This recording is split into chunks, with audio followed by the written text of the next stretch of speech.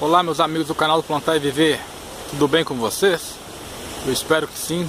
Hoje eu vim fazer uma filmagem de um limão galego aqui é, nas imediações do meu trabalho. Esse é um pé de limão com 10 a 15 anos, é, consegue frutificar em torno de 4 a 5 vezes por ano.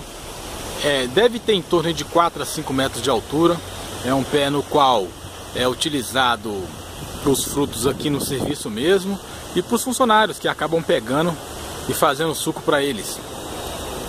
É, esse pé também ele é podado com a mesma empresa que faz jardinagem aqui no serviço.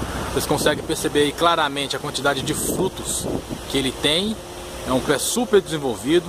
Fica aí à margem das, da lagoa aqui da cascata, vocês conseguem perceber aqui do lado esquerdo a cascata.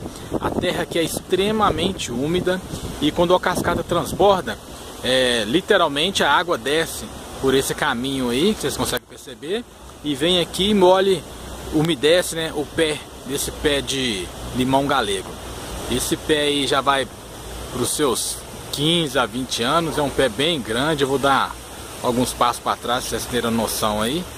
E vocês conseguem ver o que, que é um pé de limão bem cuidado, com flores novas, é flor nova, quantidade de flor que tem, os néctares, as abelhas que vêm aqui é, fazer o,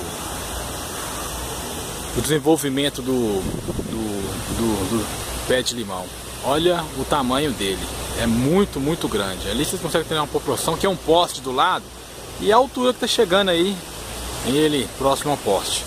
Esse é mais um vídeo da minha série das plantas frutíferas e palmeiras que eu vou gravar aqui em torno do meu serviço e vou passar para vocês. Um abraço a todos, fique com Deus, curtem o canal, façam parte aí, se interagem, tirem suas dúvidas.